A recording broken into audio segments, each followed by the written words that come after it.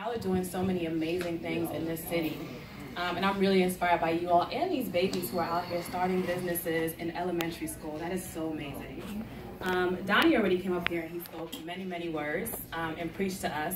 But just to add on a little bit to that, um, we have a $1.3 trillion buying power. 98% of that money goes to businesses not in our community. That is a lot of money that we are giving away to other people that could be building our communities. I created official Black Wall Street because I wanted to prove that we have everything we need to build our own community and to build our wealth and to rebuild Black Wall Street right here, right now. Um, so I started official Black Wall Street um, in 2015 launched the app in 2017, and since then it's become the largest black-owned business app.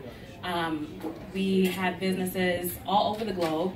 We're in 10 different countries. Um, Amen. Definitely download it. While traveling, you can you know, definitely buy black when you're in Japan, when you're in Europe. Um, we definitely want to make this a global, you know, movement and really prove that we have everything we need to build, you know, on our own.